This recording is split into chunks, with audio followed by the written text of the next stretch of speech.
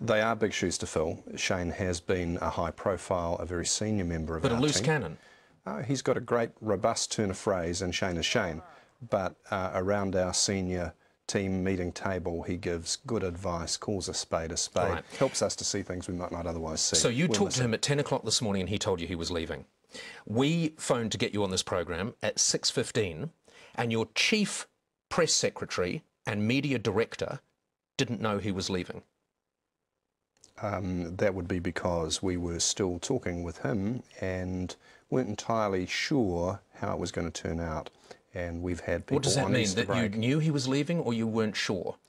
Um, he said that he was uh, planning to go, but we said we'd, you know, consult during the day, and uh, various people talk to various people. But actually, for tonight, for tonight, I want to be here to acknowledge Shane Jones, the contribution that he has made to our Labour Party and to the Labour caucus, the relationship that he will continue to have with the Labour Party, to say that we are going to miss him.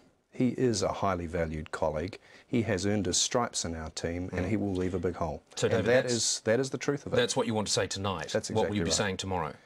Uh, we'll see how tomorrow plays.